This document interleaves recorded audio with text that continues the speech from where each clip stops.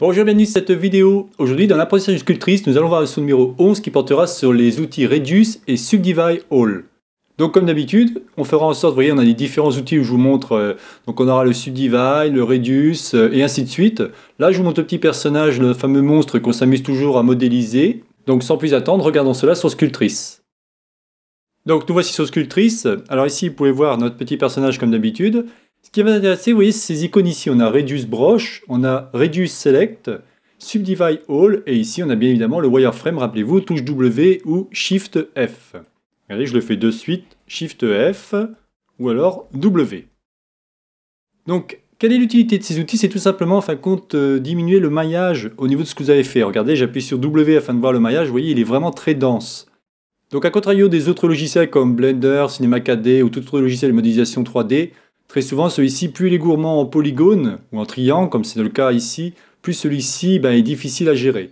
Dans le cas de Sculptrice ou ZBrush ou ZBrush Core, c'est différent. Vous voyez ici tout en bas, c'est marqué 845 420 triangles. Bon.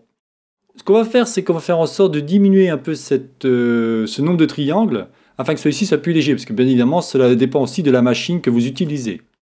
Donc là, vous voyez, si on clique ici sur Reduce Brush, alors c'est tout simplement on va réduire, donc là je zoome pour qu'on puisse bien voir, on va réduire en fin de compte la partie en fin de compte où on va cliquer, voyez?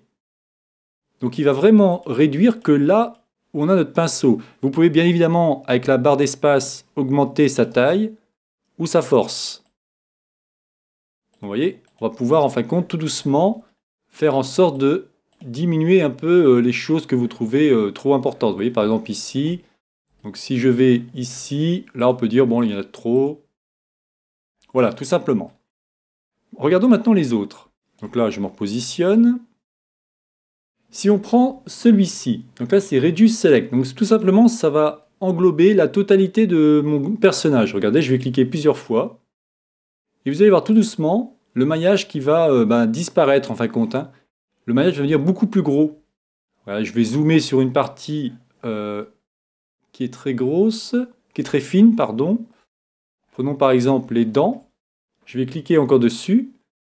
Vous voyez, c'est en train tout doucement d'enlever la partie et sans en fin de compte altérer notre personnage pour l'instant. Si je quitte ici, l'inconvénient c'est que moins vous aurez de triangles, bah, plus vous aurez des difficultés à créer des détails.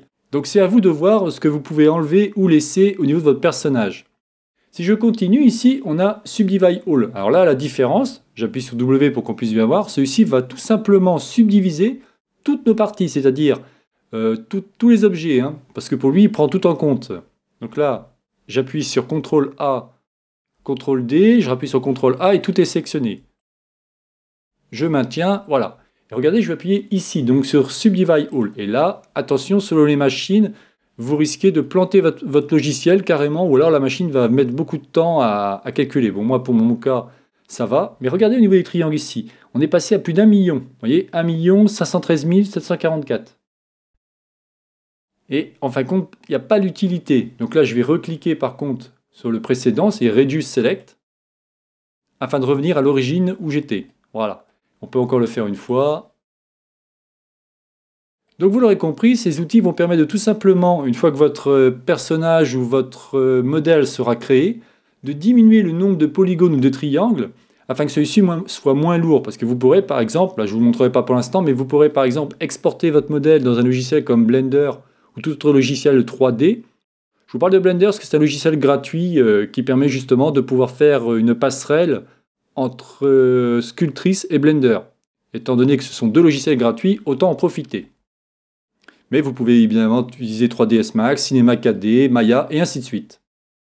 C'était donc la chaîne Savoir pour tous, réalisée par Jean-Michel. Si vous avez aimé cette vidéo, n'oubliez pas de liker ou tout simplement vous abonner à ma chaîne.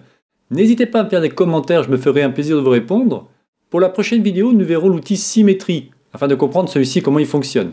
Je vous souhaite une bonne journée et à la prochaine vidéo. Bye bye